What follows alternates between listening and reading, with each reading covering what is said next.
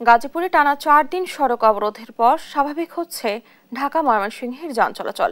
নারায়ণগঞ্জের সড়ক অবরোধকে কেন্দ্র করে শ্রমিকরা জড়ো হচ্ছে। নিয়ন্ত্রণ করতে মাঠে মোতায়েন করা হয়েছে সেনাবাহিনী। এ নিয়ে জানাতে গাজীপুর ও নারায়ণগঞ্জ থেকে সরাসরি যুক্ত হচ্ছেন সহকর্মী এম নজরুল ইসলাম ও বিলাল হুসাইন। নজরুল, পোশাক খাতে অস্থিরতার পেছনে মূলত কারা দায়ী রয়েছেন? আর পরিস্থিতি এখন কতটা স্বাভাবিক দেখতে পাচ্ছেন? এ নিয়ে জানাবেন আমাদের। আপনি যেমনটা বলছিলেন, ডানা, ষাট ঘণ্টা পর কিন্তু সড়ক পরিস্থিতি থেকে, সড়ক পরিস্থিতি কিন্তু স্বাভাবিক হয়ে আসছে। আপনি জানেন যে গত রাত দু দশটার সময়, অর্থাৎ শ্রম মন্ত্রণালয়ের যে সচিব রয়েছেন, এ এস এম শরীফুজ্জামানের সাথে কিন্তু টিএনজি কারখানার যে শ্রমিক রয়েছেন, অর্থাৎ যে পাঁচ সদস্য কমিটির তারা নেতৃবৃন্দ কিন্তু বৈঠক করেছেন। বৈঠকের পরে কিন্তু তারা বেতন তিরিশ নভেম্বরের মধ্যে আর দেওয়ার আশ্বাসে কিন্তু তারা সড়ক থেকে সরে এসেছেন এবং এখন কিন্তু আপনার যান চলাচল স্বাভাবিক রয়েছে। সবগুলো সড়কেই কিন্তু যান চলাচল স্বাভাবিক রয়েছে। আপনি জানেন যে টানাতি ষাট ঘন্টায় কিন্তু তারা সড়ক অবরোধ করে তারা এই আন্দোলন চালিয়ে গিয়েছিল।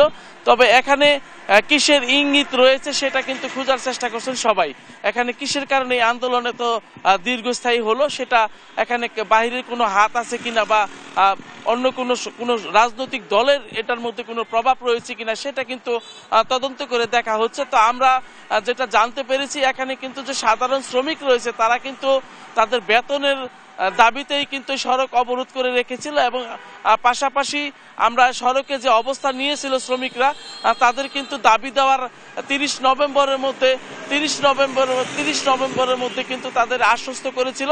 সেই আশ্বাসের ফলেই কিন্তু সড়ক থেকে গতকাল রাত দশটার সময় কিন্তু সরে সরে গেছেন এবং আন্দোলন থেকে সরে আসছেন এবং আপনি জানেন যে বকেয়াটি টিএনজি কারখানার প্রায় বারো হাজার শ্রমিকের কিন্তু ছয়টি প্রতিষ্ঠানের ষোলো লক্ষ টাকা কিন্তু তাদের বেতন বকেয়া রয়েছে। কিন্তু শ্রম মন্ত্রণালয় কিন্তু সেই ষোলো লাখ টাকা দেওয়ার প্রতিশ্রুতি দিয়েছেন এবং তাদেরকে লোন হিসাবে ষোলো লাখ ষোলো কোটি টাকা দিচ্ছেন। সে সুবাদে কিন্তু প্রথম দাপে ষোলো ছয় লাখ টাকা পাবেন, পরবর্তী দাপে কিন্তু দশ কোটি টাকা পাবেন। এরকম আশ্বাসে কিন্তু সাধারণ শ্রমিক সড়ক থেকে তাদের আন্দোলন প্রত্যাহার করে নিয়েছেন এবং আগামী তিরিশ নভেম্বরের মধ্যে তাদের যে বকেয়া, অর্থাৎ তিন মাসের যে বকেয়া বেতন, সেটা কিন্তু পরিষদের পরিষদের আশ্বাস দেয়াতেই কিন্তু তারা সড়ক থেকে সরে এসছেন। তো আপনি জানেন যে এখানে কিন্তু এই গ্রুপে বারো হাজার শ্রমিক রয়েছে, তারা কিন্তু আজকে তিন দিন ধরেই ষাট ঘণ্টা ধরে কিন্তু ঢাকা ময়মনসিংহ মহাসড়কের মালেকের বাড়ি এলাকায় কিন্তু সড়কে অবস্থান নিয়ে কিন্তু তাদের যে দাবি দাবি তারা কিন্তু তুলে ধরেছিলেন। এসব কিন্তু আশপাশে কয়েক কিলোমিটার দীর্ঘ যানজটের সৃষ্টি হয়েছিল। ফলে কিন্তু মানুষে কিন্তু দুর্ভোগে নাকাল হয়েছে। তো এখানে আমরা দেখেছি যে সেনাবাহিনী এবং পুলিশ প্রশাসন দফায় দফায় কিন্তু শ্রমিকদের বোঝানোর চেষ্টা করেছেন এবং চেষ্টা করার ফলে কিন্তু সড়ক থেকে মানে তারা এই তাদের যে অবরোধ কর্মসূচি যেটা ছিল সেটা কিন্তু সরিয়ে নিয়েছেন। ডানা, এই ছিল আমার কাছে গাজীপুর থেকে সর্বশেষ। নজরুল, ধন্যবাদ আপনাকে।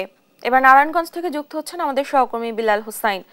বিলাল, আপনি জানাবেন নারায়ণগঞ্জে অবরোধের কি অবস্থা বিরাজ করছে?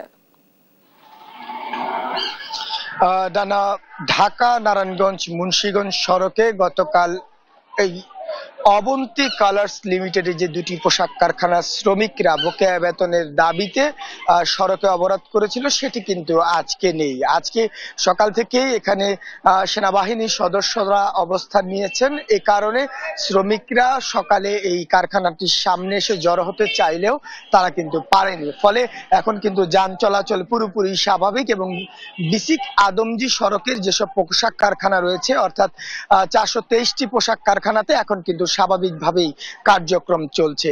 আমরা একটু দেখানোর চেষ্টা করব যে এই এটি হচ্ছে করণী গ্রুপের অবন্তী কালার্স লিমিটেডের যে পোশাক কারখানা, এই কারখানাটি বন্ধ থাকলেও অন্য সকল পোশাক কারখানায় কিন্তু আজকে খোলা রয়েছে। একদম স্বাভাবিকভাবে কার্যক্রম করছে। আর এই সড়কটি, যেটি ঢাকা, মুন্সীগঞ্জ, নারায়ণগঞ্জ সড়ক, এই সড়ক হয়ে যান চলাচল কিন্তু স্বাভাবিক রয়েছে। সড়কের একপাশে বিপুল সংখ্যক সেনা সদস্যরা অবস্থান নিয়েছেন এবং এই কারখানাটির সামনে আসলে কাউকে তারা দাঁড়াতে দিচ্ছেন আমরা শ্রমিকদের একটি অংশ ঠিক কিছু দূর, দূরে, অর্থাৎ হাটখোলা এলাকাতে এবং বিসিকের এক নং গেট এলাকাতে তারা অবস্থান নিয়েছেন। তবে যে মূল কারখানা এবং যে মূল সড়ক, সেখানে কিন্তু শ্রমিকদের এখন অবরোধ নেই এবং অবস্থানও নেই। ফলে যান চলাচলও স্বাভাবিক স্বাভাবিক রয়েছে এবং পোশাক কারখানাগুলো একেবারে স্বাভাবিকভাবেই চলাচল করছে।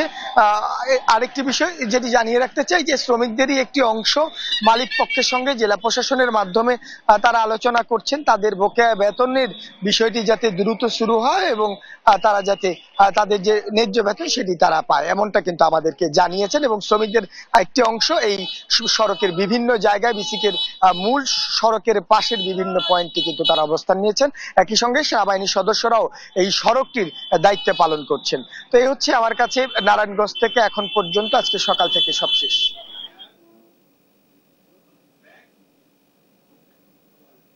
ধন্যবাদ আপনাদেরকে। গাজীপুর ও নারায়ণগঞ্জ থেকে যুক্ত ছিলেন আমাদের সহকর্মীরা।